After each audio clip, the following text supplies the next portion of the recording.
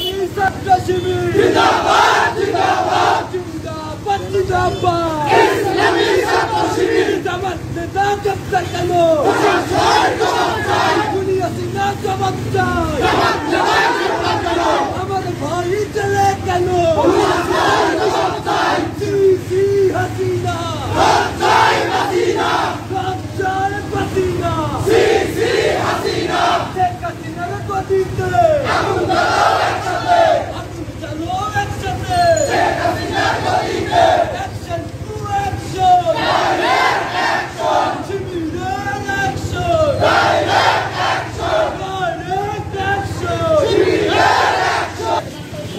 বাংলাদেশ জামাত ইসলামীর কেন্দ্রীয় সেক্রেটারি সহ দশজন কেন্দ্রীয় নেতৃবৃন্দকে সম্পূর্ণ অন্যায়ভাবে গ্রেপ্তার করা হয়েছে।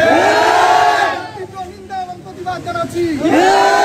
স্পষ্টভাবে বলতে চাই, হামলা মামলা করে ইসলামী আন্দোলনকে দমিয়ে রাখা যাবে না। নেতৃবৃন্দকে মুক্ত করে দিতে হবে।